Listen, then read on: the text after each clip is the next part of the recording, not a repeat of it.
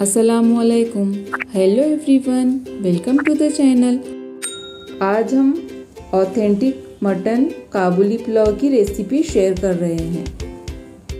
I hope आप लोगों को पसंद आए चलिए इसे बनाते हैं। इसके लिए हम ये आधा किलो मटन लिए हैं। मटन को अच्छे से धोकर सिर्फ़ नमक डालकर ही हमें बॉईल करके लेना है कुकर में। और दूसरे साइड हम ये आधा किलो बासमती राइस अच्छे से धोकर भिगो के रखे हैं।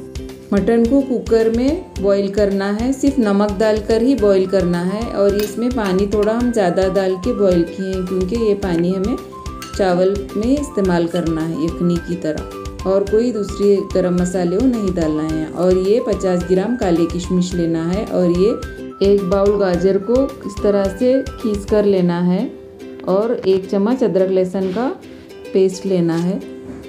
एक चम्मच धनिया ज़ीरा पाउडर, आधा चम्मच नमक, चार चम्मच तेल, दो मीडियम साइज़ की प्याज को बारीक कट करके स्लाइसिस में लेना है और एक चिकन क्यूब लेना है। ये मैगी का चिकन क्यूब है।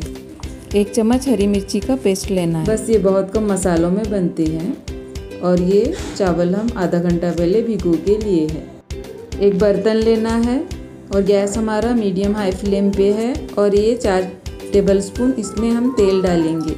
तेल गरम होने के बाद इसमें प्याज डालेंगे। ये देखिए, तेल गरम हो गया है और अब हम इसमें प्याज डालेंगे। और प्याज को बहुत ज़्यादा लाल नहीं करना है, थोड़ा सा ही फ्राई करके लेना है। ये देखिए इस तरह से। ये काबुल की ऑथेंटिक मटन पुलाव रेसिपी है। इसमें बहुत ज़्यादा मसाले नहीं डलते। हमारे यहाँ पे जब हम पुलाव बनाते हैं तो बहुत सारे मसाले डालते हैं, दही, टमाटर और इसमें एक चम्मच अदरक लहसुन का पेस्ट डालेंगे। बहुत कम मसालों में बहुत ही टेस्टी पुलाव बन के तैयार हुआ था। बहुत ज़्यादा स्पाइसी नहीं होता है ये।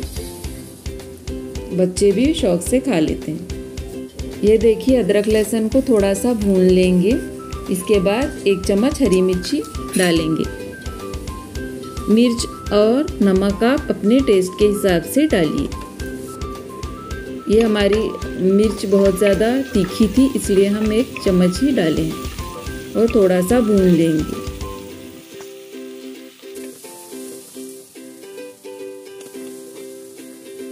मटन डालेंगे। मटन हमारा 90 परसेंट तक अच्छे से गल गया था।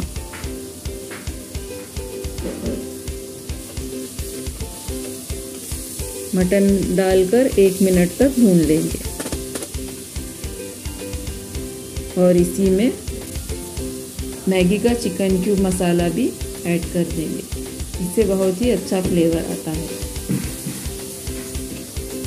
और एक चम्मच धनिया पाउडर और आधा चम्मच नमक हम इसमें डाले हैं। नमक बहुत ज़्यादा नहीं डालेंगे, क्योंकि मैगी के चिकन क्यूब में नमक ज़्यादा होता है।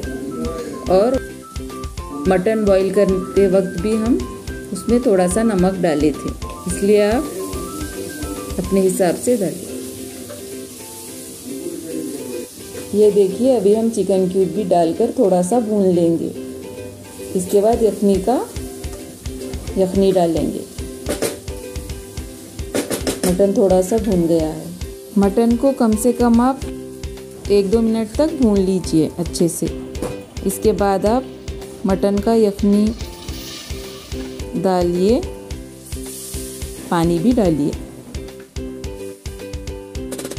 दो कप चावल है, इसलिए हम इसमें साढ़े तीन कप पानी डालें। और इसको बॉईल होने के लिए एक साइड रख देंगे। और दूसरे साइड हम, दूसरे साइड हम एक पैन लेंगे। पैन में एक चम्मच तेल डालेंगे। तेल थोड़ा सा गर्म होने के बाद जो गाजर को हम खींच कर लिए थे, वो डालेंगे। और किशमिश। किशमिश और गाजर साथ में ही ऐड करेंगे। और एक चम्मच शक्कर भी इसी में डाल देंगे। जब तक शक्कर पूरी घुल जाए, उस टाइम तक हमें इसे पकाना है। ये देखिए, शक्कर, किशमिश और गाजर अच्छे से पक रहे हैं। अब इसमें हम आधा चम्मच विनीगर डालेंगे। ये देखिए। और थोड़ा सा ही फ्राई करके एक मिनट तक से रख दीजिए आप साइड आज हम थोड़ा डिफरेंट टाइप का ये पुलाव बनाए थे तो घर में सबको पसंद आया था। और ये देखिए, अब इसमें हम चावल ऐड करेंगे। पानी में बॉईल आ गया था। और अच्छे से मिक्स कर लीजिए। और मीडियम हाई फ्लेम पर पकाइए। बहुत ज़्यादा गैस को फास्ट नहीं करना है। ये देखिए, चावल अच्छे से पक रहे हैं। पानी का, पानी पूरा सूखने के बाद हम इस पर जो गाजर, किशमिश को फ्राई करके रखे थे, वो डालेंगे और दम पे रख देंगे पाँच मिनट का। ये देखिए, बहुत ही टेस्टी काबुली मटन पुलाव बन के तैयार हुआ था और बहुत ही झटपट बना था ये। आई होप आप लोगों को आज की हमारी ये रेसिपी पसंद आई तो लाइक शेयर और सब्सक्राइब कीजिए। Thank you